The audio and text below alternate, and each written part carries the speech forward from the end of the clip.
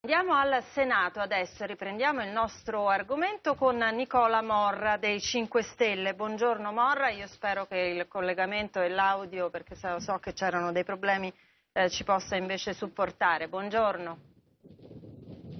Sì, buongiorno a lei, buongiorno a tutte le ascoltatrici e a tutti gli ascoltatori. Ci sia un collegamento efficace adesso. Va bene, non lo diciamo. Allora, mi spiega perché ai 5 Stelle non piace questa legge elettorale? E perché vi sfavorirebbe? Allora, il Movimento 5 Stelle ha espresso un giudizio fortemente negativo sulla legge perché è irrazionale, illogica e dunque non democratica.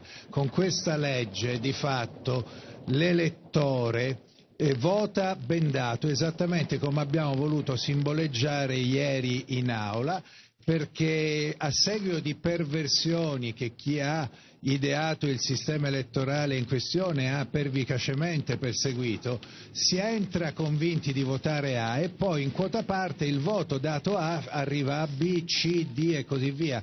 Naturalmente nella inconsapevolezza dell'elettore, per cui come hanno sostenuto anche eh, per esempio Walter Tocci, esponente del Partito Democratico, che però si rifiuta di votare questa legge elettorale, ci sono degli effetti perversi, diabolici, che tradiscono lo spirito per cui l'elettore debba avere un voto libero, eguale e personale. E noi abbiamo sollevato questioni di costituzionalità, eh, ma soprattutto reputiamo che questa legge tradisca l'intenzione dell'elettore. D'altronde è stato lo stesso Valerio Onida, ex presidente della Corte Costituzionale, a parlare di alterazione e manipolazione dell'intenzione di voto, o addirittura Paolo Mieli, ex direttore del Corriere della Sera, a definire questa legge una schifezza, una porcata criminale utilizzata contro qualcuno che non fa accordi, qualcuno che non ha interesse a operare negoziazioni al ribasso. Evidentemente, ma questa è la tesi di Mieli, si vuole favorire un ritorno alle cosiddette larghe intese, tradendo ciò che poi si dice in campagna elettorale al proprio elettorato. Voi eh, fate un appello al capo dello Stato e poi tra l'altro oggi avete anche una manifestazione, no? Se non sbaglio. Sì, io rinnovo l'invito a tutti i cittadini. Noi ci troviamo qua al Pantheon alle 14 inizieranno le dichiarazioni di voto sulle cinque operazioni di fiducia per i cinque articoli per cui verrà richiesta. Vogliamo dialogare con i cittadini, vogliamo far capire loro che questa non è una legge contro il Movimento 5 Stelle o contro qualcun altro, è innanzitutto una legge contro l'elettore, perché l'elettore credo, credo, in democrazia quando vota vuole sapere con una ragionevole certezza chi va del suo voto e chi debba fruirne. Con questa legge c'è un effetto eh, diciamo così, perverso e di accecamento per cui votando in un certo modo tu vai a favorire altri, tante altre liste, tante altre mh, formazioni politiche che con il tuo voto avevano ben poco a che fare. Io ricordo a tutti che gli stessi proponenti questa legge con l'Italicum avevano diciamo così, schifato la logica coalizionale perché l'Italicum non ammetteva coalizioni. Invece con questa legge non soltanto le coalizioni ritornano, ma ritornano in maniera tale da poter mettere a tavola anche coloro che prendono fra l'1 e il 3%, addirittura in alcuni casi anche meno dell'1% purché abbiano due eletti in collegi uninominali. Non voglio entrare in eh, questioni di, di merito, certo, però ecco, l'elettore dovrà capire, dovrà sapere che qui il legislatore lo sta prendendo per i fondelli. E francamente da cittadino italiano, prima ancora che da eletto, io mi sento offeso da questa volontà pervicace di offendere l'intelligenza dell'elettore e la filosofia della democrazia. Senta Morra, poi lascio la parola alla, alla, replica Ermini, ma perché a giugno avete fatto saltare il tavolo? Allora, che questa è la cosa più ricorrente che vi viene chiesta. Allora, no, no, no, no, no, no, mi dispiace, il tavolo è saltato perché a fronte di un emendamento proposto da una deputata di Forza Italia, perché l'emendamento era della Biancofiore, noi abbiamo dichiarato dichiarato come è stato poi che avremmo votato a favore perché il sistema elettorale del Trentino Alto Adige ha delle particolarità che non ci piacevano e che non erano state affatto incluse nell'accordo, è stato qualcun altro che causa pessimo funzionamento del display è stato eh, svergognato perché sono stati parlamentari del Partito Democratico che hanno votato alcuni rosso, alcuni verde e alcuni non hanno addirittura votato. È notorio che il Partito Democratico da solo alla Camera ha la maggioranza, per cui eh, bastava che il Partito Democratico votasse compatto e problemi non ce ne sarebbero stati. Invece quell'emendamento è passato per defezioni da parte del Partito Democratico, non era parte dell'accordo e questo dimostra che all'interno del Partito Democratico appena c'è un voto segreto segreto eh, saltano. E, mh, e questo è anche uno dei motivi per cui al Senato addirittura non soltanto hanno replicato la posizione, la posizione della questione di fiducia, ma addirittura ieri l'hanno fatto cercando di strozzare la discussione generale. È vero che i regolamenti vengono puntualmente calpestati in funzione dell'interpretazione delle presidenze, ma è altrettanto vero che se si eh, calpesta il diritto delle opposizioni di poter testimoniare le loro opinioni e le loro valutazioni sui provvedimenti che sono in essere, a questo punto si chiudesse il Parlamento, si vota soltanto per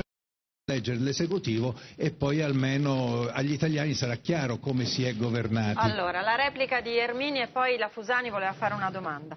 No, due cose solo sulla storia. L'emendamento non era solo di Biancofiore ma era anche di Fraccaro del Movimento 5 Stelle. Eh, quando si fanno gli accordi... Allora, l'emendamento è quando, stato proposto dalla Biancofiore quando, e Fraccaro fra... l'aveva confermato in commissione. Quando, quando, eh, appunto, ho detto c'era la firma di Fraccaro, che ho detto io? Eh, allora, il tema è questo. Sì, se, sì, se sì, si fa, la prima firma l'ha presentato se si fa un accordo, senatore, se si fa un accordo si, si, evita la possibilità di incidenti, se no non è un accordo. Se no noi diciamo si fa un accordo generale, dopodiché ognuno presenta gli emendamenti che gli pare, mi faccia finire per cortesia, io sono stato in religioso silenzio. Eh, uno presenta gli emendamenti che gli pare e a, punto, e a quel punto siamo tutti liberi di votare come si vuole. Gli accordi io li intendo in un altro modo, gli, gli accordi si fanno e si ha la capacità di, anche di, della gestione del gruppo nel momento in cui si fanno gli accordi. Sul fatto dei pallini rossi e dei pallini verdi abbiate pazienza, ma io l'indice, il, il, pollice eh, del, del, dei vostri responsabili di gruppo me li ricordo, quindi me, stendiamo un velo pietoso su quell'episodio. Eh, io, io, dico, eh, il PD non ha la maggioranza alla Camera, questo è falso. Il PD, il gruppo del Partito Democratico da solo non ha la maggioranza alla Camera. Questo lei lo dovrebbe sapere perché basta leggere un numero. Sui voti segreti vorrei sottolineare che voi siete quelli che avete sempre fatto la battaglia contro i voti segreti, perché avete, avete, sempre detto che non volete gli inciuci nascosti, siete quelli degli streaming che poi avete naturalmente sotterrato, siete quelli che volete essere intercettati però i vostri vanno a parlare sul tetto per non farsi sentire, poi siete quelli che volete la trasparenza su tutto e invece adesso voi utilizzate questi sistemi da prima repubblica per cercare di, di, di, diciamo, di, lavorare in modo abbastanza subdolo con alcuni eh, del Partito Democratico o comunque della maggioranza che non vogliono, che non, che non vogliono eh, votare questa legge. È tutto legittimo, è tutto legittimo, però i cittadini bisogna anche rispettarli dicendo qualche volta la verità e mantenendo una coerenza di posizione, cosa che decisamente su, di voi mi pare che ultimamente qualche discussione ci possa essere sulla coerenza. Siete stati perfino a Cernobbio, quindi lasciamo fare. Allora, il, il, io penso questo, sulla legge elettorale si può discutere, si può discutere non, eh, il voto disgiunto o non voto disgiunto, anche gli importanti costituzionalisti che avevano sostenuto la battaglia sul no, oggi dicono che questa legge è costituzionale, anche se ci sono delle cose che vorrebbero cambiare. Io mi ricordo ah. di aver letto un'intervista... Qualcuno dice anche che c'è qualche rischio di incostituzionalità. Vabbè, eh, i rischi di, di incostituzionalità ci sono su tutte le leggi che vengono fatte dalla destra Riti, o, o, c'è Bezotti che è già pronto a fare ricorso Vabbè, lo faranno e decideranno, e decideranno Questo però il ricorso verrà dopo. Però io credo che finalmente i cittadini italiani possano andare al voto con una legge fatta conosce il suo candidato di collegio. Se io e il senatore Morra siamo candidati nello stesso collegio, chi vuole votare per me vota per me, chi vuole votare per Morra vota per Morra. Questo è l'elemento caratterizzante. Dopodiché, se mi chiede se volevo più collegi, sì, volevo più collegi. Io sono uno di quelli che vorrebbe tutti i collegi. Tutti. Però Ma, non si può fare Morra, perché non ci sono i numeri Morra, per.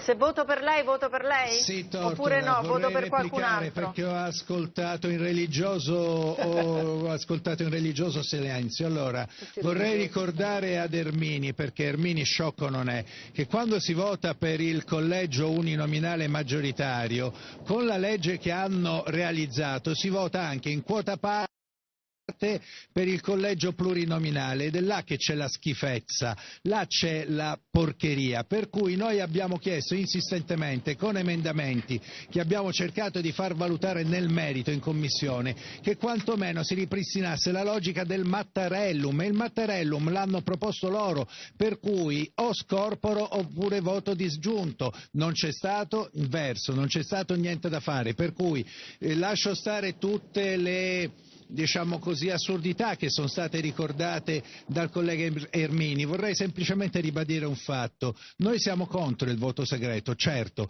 ma siamo anche contro una forzatura dei regolamenti parlamentari che sta avvenendo puntualmente senza che vi sia da parte della stampa, dell'informazione delle televisioni la giusta informazione. Per questo motivo noi abbiamo preparato non 50 emendamenti, che sia chiaro, una decina di emendamenti al Senato una decina di emendamenti con cui, e dovevano ancora passare l'ammissibilità da parte della Presidenza dell'Aula, con cui si sperava di poter ottenere che tanti parlamentari del Partito Democratico potessero, e non soltanto, perché anche all'interno delle altre forze politiche che hanno sottoscritto l'accordo ci sono grandissimi problemi. Io ci parlo con i colleghi, quelli degli altri gruppi, e sono loro che dicono se potessimo votare con il voto segreto allora vedremmo un pochino i risultati risultati ben diversi. Il vero fatto scandaloso è che si debba ricorrere al voto segreto per ottenere un voto libero e questo dà l'idea del, del clima di asservimento che è tipico delle istituzioni parlamentari. A me nessuno ha chiesto di votare in alcun modo, noi abbiamo sempre ragionato con la nostra testa facendo anche magari assemblee difficili, assemblee ruvide, ma sempre e soltanto con la nostra testa. Sono eh. altri che subiscono dei diktat oppure vengono trasferiti alla Commissione perché annunciano che voterebbe contro il loro leader allora, di partito. Morra... Poi vorrei ricordare sì. che ieri è stata anche negata la possibilità del, della discussione generale, non so se mi spiego, e abbiamo dovuto occupare i banchi del governo affinché venisse ripristinata una prassi che da nessuno in precedenza era stata negata, perché una cosa è porre la questione di fiducia, una, una cosa ben diversa è porre la questione di fiducia anticipando la, la, discussione generale. A questo punto mi si deve dire, siccome il Parlamento è il luogo in cui ci si parla e ci si confronta, se neanche fare? parlare è possibile, che cosa lo teniamo aperto a fare? È chiaro il discorso. Allora, Civati e poi e arrivo. E poi dovrei Scusa. dire ad Ermini tante e tante altre aspetta, cose, aspetta, perché aspetta, aspetta, le cose aspetta, che sono state immagino, dette Ermini immagino, meriterebbero tutte immagino, immagino. Civati, su questo, su questa è una linea che vi unisce, no? La, no, la, la vostra protesta. eh. normali che guardano il Parlamento e che si chiedono perché non si può nemmeno fare la discussione generale, cioè stiamo arrivando a... a, a voti la legge. eh, no, ma cosa stai dicendo, Fusani? Ma, ma la discussione generale si è sempre fatta, ma no. cosa, cosa ma vuol dire? Ma la sposti di una settimana Vabbè, la discussione, ci dovevi pensare per cinque anni di legislatura. Io ma cos'è questo discorso? Allora, adesso aboliamo il Parlamento. L'aula era vuota cosa? Ma che cosa era vuota? Io sono intervenuto in aula alla Camera, vatti a vedere il video. Non dire cose che non stanno in cielo né in terra. Va bene difendere l'indifendibile, ma così si va veramente nel ridicolo allora, Civati. Quello che diceva Morra. Allora, un attimo solo, fini, un attimo allora, solo, finisce Civati, finisce Civati, Morra. E questo ha sollevato le proteste di tutte eh, le opposizioni. Ovviamente. Il punto è che hanno fatto una legge per non far scegliere ai cittadini e non fanno scegliere nemmeno a chi la vota. Perché i dieci emendamenti di Morra, i nostri due emendamenti fondamentali, il disgiunto e la selezione delle candidature non piacciono le preferenze primarie per legge, mm. no? Però si va, non si va con i foglietti, si va al seggio e si mm. vota per scegliere l'ordine mm. dei candidati. Altre soluzioni, noi le abbiamo avanzate, non è stato possibile discuterne, Discute. manca, non c'è tempo non è un argomento, si sta anche il fine settimana e si ah, fa fare la certo. discussione generale a Morra, a Civati, a Ermini, a tutti noi. Notte e giorno. Da ultimo, la battuta di Morra, spero che non l'ascolti nessuno, perché quando dici di non fare più le elezioni del Parlamento e di votare solo il governo, Secondo me qualcuno l'ascolta, Mora, non dirlo più perché c'è il rischio che nella prossima legge fatta no, da Verdini ci sia anche quello. Se non gli facciano, li rifanno. Eh, certo, scusate, sì, anche scusate. No, allora io non difendo, io faccio giornalista e non difendo... Il ricorso continuo alle fiducie e prassi soprattutto di questa legislatura. Non bisogna dirlo neanche per scherzo. Si è accentuato. Scusani. Allora, non, io non, non, devo difendere nulla e nessuno, mh, mm, faccio cronaca. Allora, nell'ordine, ritorno sulla legge elettorale a giugno e ricordo che il patto in Commissione Affari Costituzionali prevedeva che non sarebbero stati presentati emendamenti e appena arrivate in aula l'emendamento fu presentato fra Caro Biancofiore. Cosa era successo in quelle ore? Che la vostra base elettorale, no, tramite il blog, blog c'era stata una rivolta, quindi, quindi voi vi siete subito sintonizzati, giustamente, falso. con la vostra base e avete fatto saltare l'accordo, perché la, voi eravate al tavolo in quell'occasione.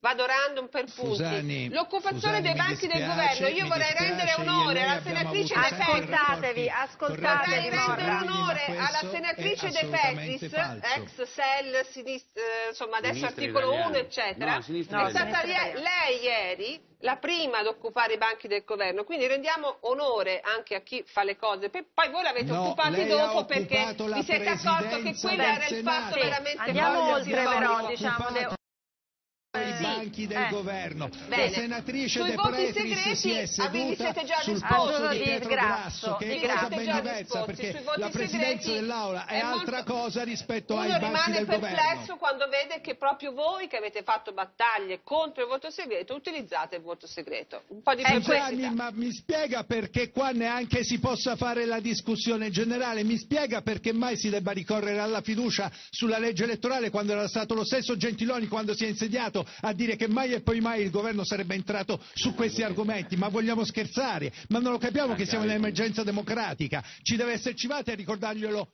in studio. Ma la democrazia si anche costruendo delle norme. Un certo no, Morra, si va a votare senza Mussolini, se le sembra normale, ma mi fa che, piacere, ma io ho una concezione della democrazia un po' più un paragone veramente fuori dal mondo. Che forse non sa neanche cosa ha fatto Mussolini. Però scusate, Ermini, se è previsto da un regolamento e comunque è previsto un iter... Ma non c'è discussione generale. Vabbè, allora chiudiamo però, no, c'è ragione Morra, chiudiamo Camera e Senato, casa. La discussione generale può essere a un certo punto, il regolamento prevede che può essere interrotta la discussione generale. Perché, perché può essere... Scusate, ma guardate, ma non è che in commissione non si è parlato, sembra che il Parlamento allora, l'abbia discusso Scusate un attimo, Ermini, sentiamo Morra. Questo evidentemente si vuole concedere. Stavo dicendo che la presidenza dell'Aula, Grasso, aveva previsto l'apertura possibile dell'Aula fino a venerdì mattina, appunto al fine di garantire il normale, regolare svolgersi del dibattito. Se il ministro Finocchiaro non si fosse alzato ieri per chiedere immediatamente la questione di fiducia, per apporre la questione di fiducia, non ci sarebbero state proteste e torno a ripetere perché la precisione è un dovere nell'informazione. La senatrice De Petris è andata di corsa a sostituirsi al presidente Grasso sedendosi sul suo scranno e noi abbiamo successivamente occupato i banchi del governo perché la verità storica ha un valore che non può essere smentito da chi ricorda male, Abbiamo non so se in buona cosa, fede. Senatore per Morra. cui Tornando... Ho, rivendicato no, la senatrice no, De Petris. il governo Scusate, sono una cosa, la senatrice De Petris è stata la prima a fiondarsi, ecco, a fiondarsi uso volutamente questo verbo, per dare l'idea della velocità, dell'immediatezza con cui Loredana De Petris ha operato eh, questo passaggio sul posto di Pietro Grasso, ma i banchi del governo sono altra cosa che però, ecco, questo deve essere chiaro, non si permetta neanche la discussione generale, dà l'idea di un clima in cui non si può neanche dire qualcosa di mm. diverso da quello Senti, che vuole Morra, l'ultima, Morra, l'ultima cosa, domani, domani sì. ci sarà questo voto, poi il Movimento 5 Stelle come si regolerà? Ma guardi, noi andremo il prossimo fine settimana in Sicilia a fare campagna elettorale, noi dobbiamo far sapere a tutti gli italiani che cosa sta avvenendo in questi palazzi, visto che alcune fonti di informazione così eh, svogliate, superficiali nel far sapere ai cittadini che si sta togliendo loro il diritto di votare. Torno a ripetere, come ribadiva anche lo stesso Civati, questa è una legge per cui tu voti A e in quota parte il tuo voto fa anche a finire a B, a C, a D e così via. Questa è la logica che ha permesso la resurrezione delle coalizioni che qualcun altro aveva ritenuto la morte della democrazia, qualcun altro aveva profetizzato la vocazione mm. maggioritaria. Renzi con l'Italicum aveva fatto una legge che andava in direzione del tutto opposta mm. e voglio ricordare anche che contro quella legge che secondo molti ci favoriva, noi ci siamo battuti con uguale energia per cui a noi non interessa chi favorisca la legge, la legge elettorale deve favorire soprattutto l'intenzione di voto dell'elettore del e questa la calpesta.